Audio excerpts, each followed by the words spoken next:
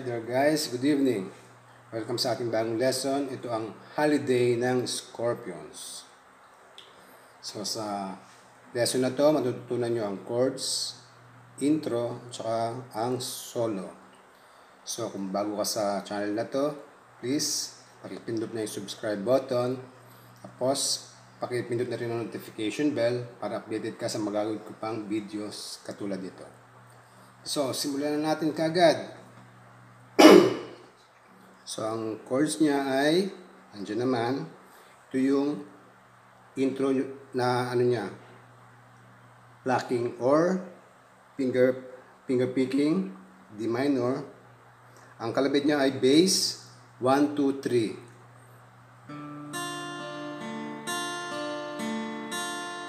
So, sa D, ang bass, bass ng D ay 4, tapos 1, 2, 3, 1, 2, 3, 1.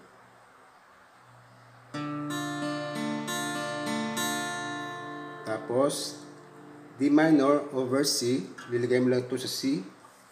Sa 5th fret, 3rd, 3rd fret. Ah, 5th strings, 3rd fret.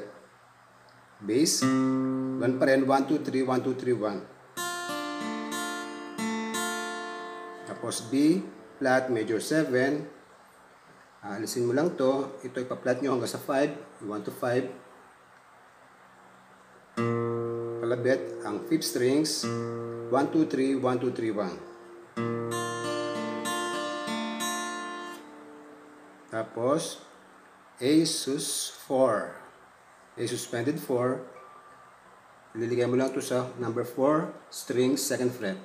Doon pa rin ang kalabit. 4 1, 2, 3, 1, 2, 3, 1 tapos A5 flat nyo itong apat sa second fret, 1, 2, 3, 4 na strings. Tapos itong pinky, idiin nyo itong 1 and first and second strings sa P fret. Bali, kalabet 4, 1, 2, 3, 1, 2, 3, 1. Puro 1, 2, 3, 1, 2, 3, 1. Yung bass lang ang naiba. Bali, ganito. Slow-mo.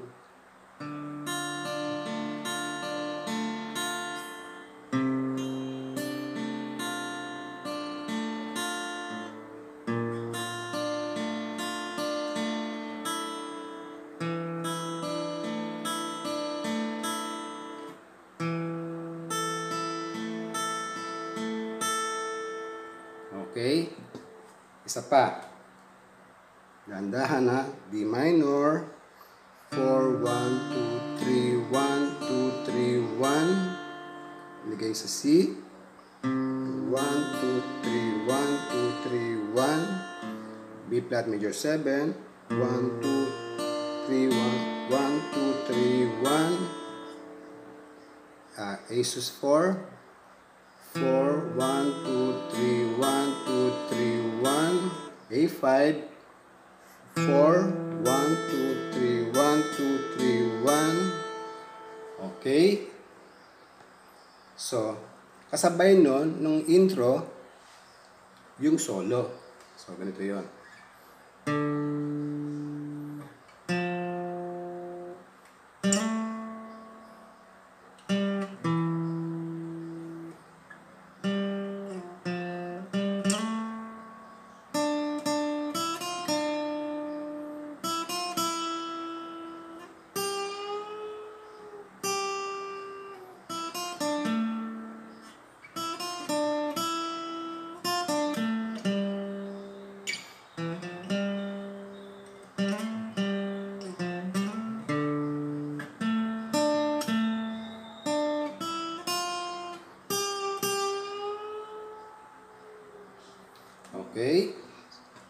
Yun. Simulan natin sa 5th, fifth strings, 5th fret.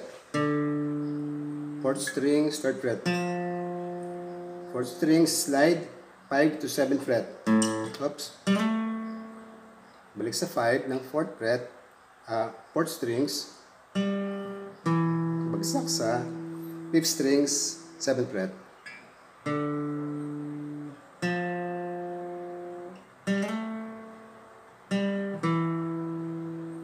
Tapos, second part, fourth strings lang gagamitin, nat- gagamitin, gagamitin natin ha.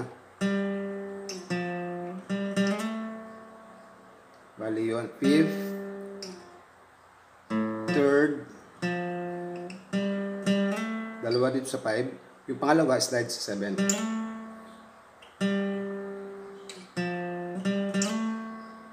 Tapos, fourth strings, 7 fret, dalawang beses. Tapos second strings, 5, 6. Tapos, third string, 7 fret.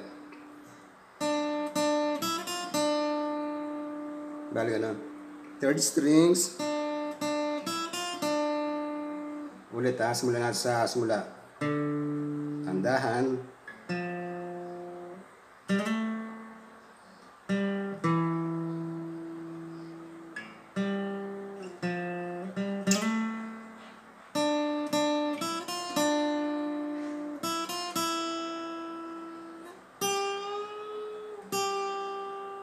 So, dito na tayo. Third strings, da- dalawang beses, 7 fret. Second strings, 5 and 6. Balik sa 7 fret ng third strings.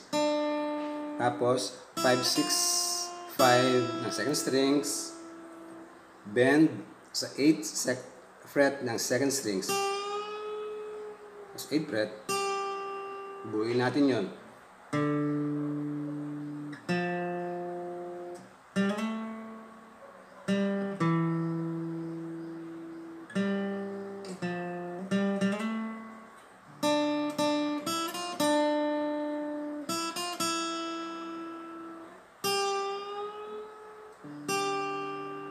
Ito yung kasunod. Ito ay 5, 6 ng second strings, 7 ng third strings, tsaka 7 ng fourth strings. Tapos, balik sa 5, 6, 7 ng third strings, balik sa 5 ng second strings. Tapos, 6 second strings, 7 ng third strings, 7 ng fourth strings, bagsak sa 5.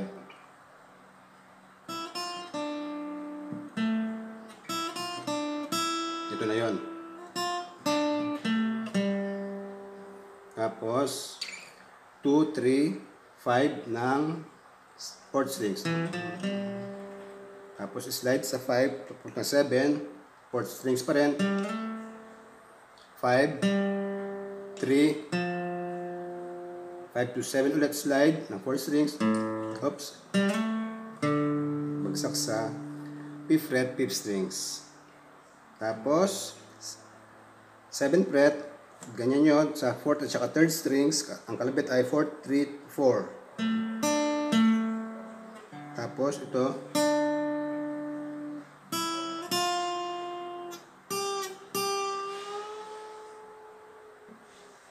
Bali, simulan natin ulit ha.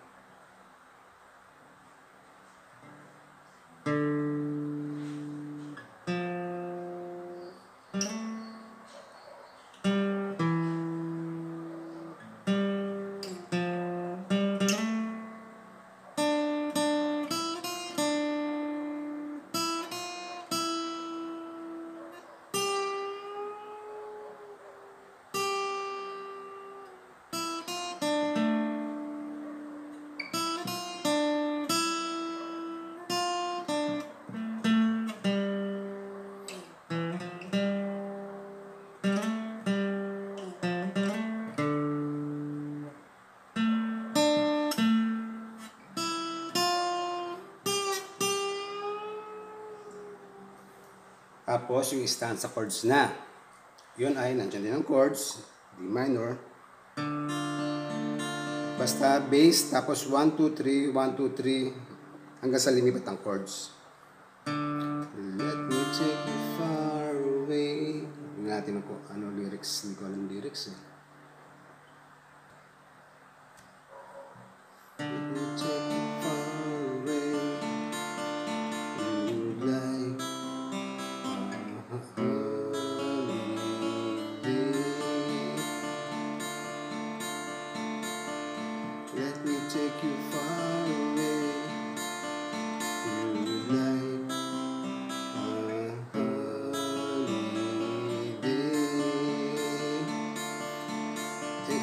Exchange the cold day, uh, exchange the cold days for so some good times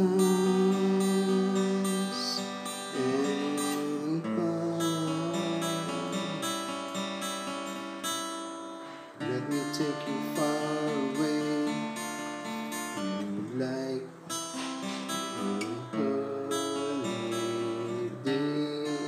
Bali, ang chords niya sa verse ay D minor, C, A7,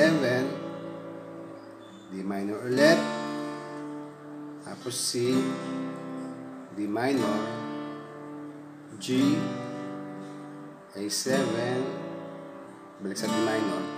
Pagkatapos ng first verse, meron pa siyang chords na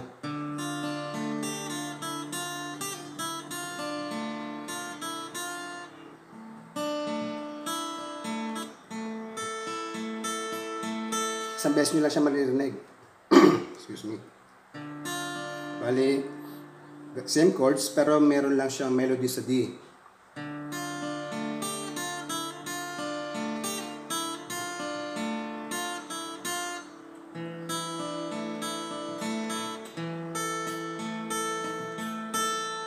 Okay? So, after that, yung ano na, yung outro na D minor.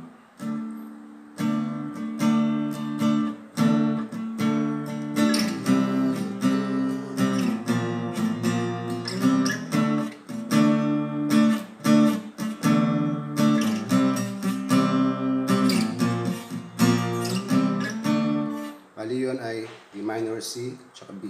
Ang kalabit ay da, da, D minor, tapos dalawang mute, tapos D minor, bali D mute, mute, D mute, mute, D, D.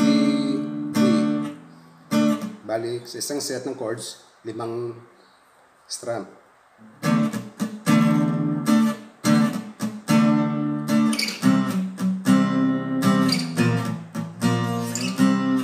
Apat lang kasi yung pang lima niya bumagsak na siya sa C pabalik sa D minor. Balikan to.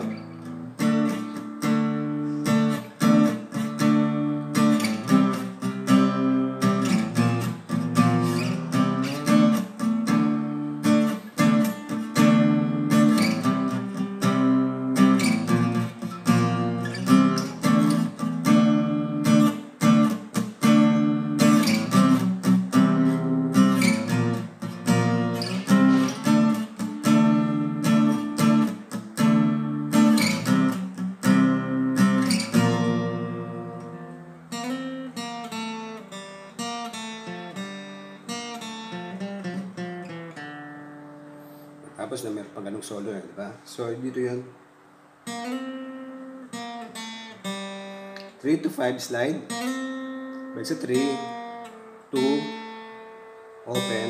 Ng third strings yun na.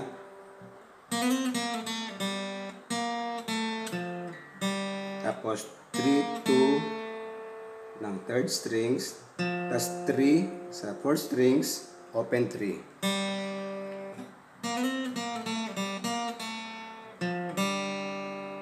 3, 2, na third strings, 3, 5, na fourth strings, 3,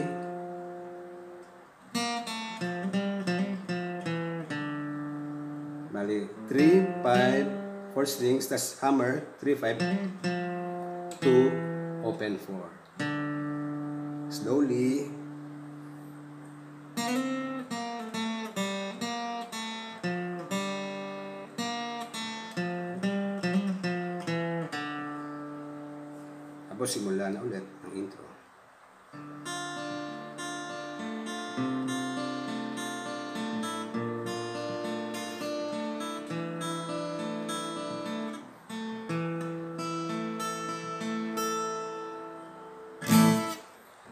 Ay, sana nagustuhan nyo ang ating lesson. Sana may natutunan kayo. At kung meron man, pakiligyan naman ng like dyan. At hanggang sa muli, salamat sa panonood. Paalam.